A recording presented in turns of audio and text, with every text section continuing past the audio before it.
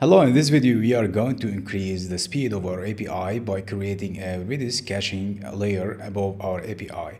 And the good news is you don't need prior knowledge in uh, Redis. In fact, if you do not have Redis in your skill set, uh, this is the best place to start with because what we're gonna do is very easy and simple, but the results are significant and immediate. Now, let me show you what we're gonna do here. So on the left, we have the basic structure. Our API fetch uh, from the database and then just handed the data to the client.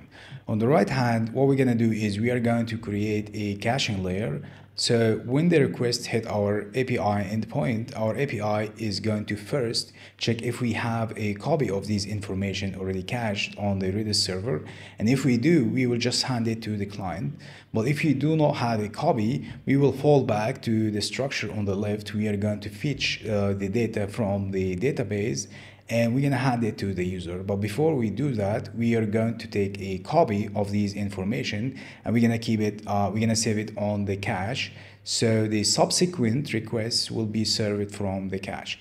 So what you're going to need here is you will need to install the PHP library that will allow us to connect and communicate with the Redis server. I have installed uh, Predis. You can install it using the composer and they are giving us a, example about how we can instantiate the uh, library and you can keep going down you're to see they have a documentation about all the functions that comes with uh, the library. Now let me go to my code. Uh, first what we're gonna have what we have here is we receive the profile id from the post and then we uh, get the user details from the database and then we prepare the data to the format that our uh, front end expect and then we uh, encode the data using JSON. Let me show you the SQL and the prepare data functions.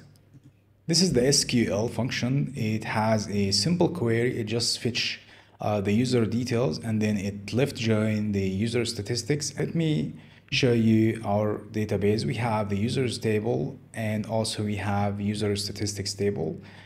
So after our function fetch uh, the data from uh, the SQL, we fetch the data and then we use the prepare data. Again, it strip out uh, all the unnecessary data and just keep the data that our front end will need. Now back to the profile. Till now there is nothing fancy. It's just an API that fetch data from uh, database and just hand it to the user. So what we're gonna do now is we are going to create a caching layer. So the first thing we're gonna do is I will define the cache key name. I'm gonna say the name gonna be user uh, colon and then profile ID. The naming convention here is to use the type or the category of the data and then you use the ID. So if you're saving user details, you're gonna say user colon and user ID. If you're gonna save post data, you're gonna say post and then the post ID. You can use uh, colon or underscore. It's all up to you. So I'm gonna say uh, profile details. I'm gonna fetch, uh, try to uh, fetch the data from the cache. I'm gonna say user details equal to redis get uh, cache key name. Now you might be wondering why we didn't use Redis exists because Redis has a function that check if the key exists or not. But for me, uh, the get function is more efficient because if we uh, use exist and we find the data, we will have to send another request, which is a network request. Uh, and that is not efficient. And I prefer to send only one uh, network request. So the get function, if it find the data on the server, it just bring it. If it didn't find the data, it return empty. So uh, it's for me, it's more efficient. So I'm gonna say if profile details, if we found uh, the data and data is not empty. Now cache hit. Now we found the cache we can just say echo profile details and we don't need to encode the data again. We have encoded the data before we save it. Now we're gonna say else, otherwise if we did not find uh, the cache, we are going to fall back to the basic structure, but First, before sending the data or displaying the data, we're gonna take a copy and save it on the cache server. So we're gonna say save equal redis set cache key name And in the second parameter, we're gonna say JSON data. And there is some additional parameter. This is the TTL, which is the time to live. And if you set number here, this is the number in seconds. This is how long your data or your key will live on the server before it gets deleted. If you leave it empty, uh, your key is gonna persist forever on the server. So I'm gonna go back to uh, the place where we found the cache. And now, because I want to see if the cache hit or not, I'm gonna decode the data. I'm gonna say profile details equal uh, JSON decode profile details and here I'm gonna say true so it return an array and then I'm gonna say profile details cache equal one. So when we get the request we will uh, distinguish if if the the data is coming from the cache or it's coming from the database.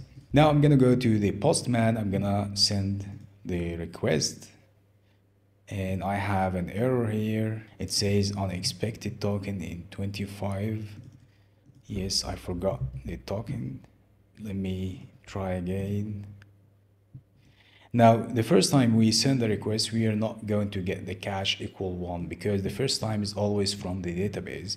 But if we send again we should get uh, we are getting an error on line 14 that is because I forgot to re uh, encode the data again. I'm gonna say equal JSON encode profile details. Now let's send again. Now we have got the expected information and we have cache equal one, which means this data is coming from the cache. Now, what if the user has changed his username or changed any part of his information?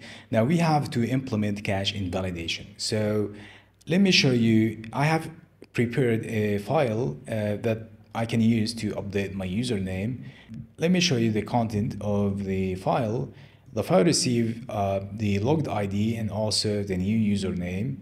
Um, now let's try to, now wait a minute, I have a a mistake here. Um, I need to say new username equal post new username. And let me take a copy from this. And let's go to the postman. I'm going to say uh, the new username is John and the user ID is number one. And let's send. Now let's confirm in the database. Okay, the name has updated. Now let's go back to the fetch uh, profile and we send now we are we will keep getting the very same information uh, as before because we did not uh, invalidate the cache during the update uh, uh in the update file.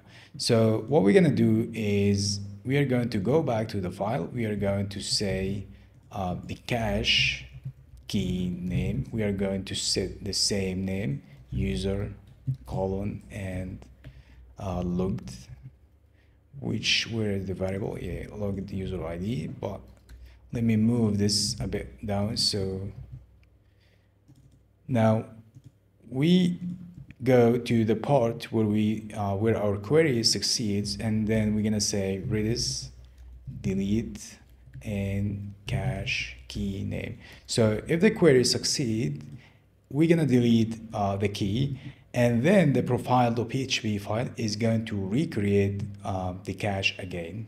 So let's send from the postman.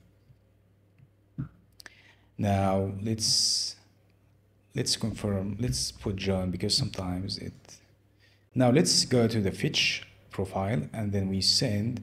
And as you can see this is the new name and we don't have the cache equal one in here because now we have invalidated the cache and the file had to go to the database because it didn't find the cache key. But if we send again we will say we will see the cache equal one because now we are getting the cache version now, there's something equally important here. I almost forgot to mention it that sometimes part of these information is dynamic, like uh, the information depend on the viewer ID.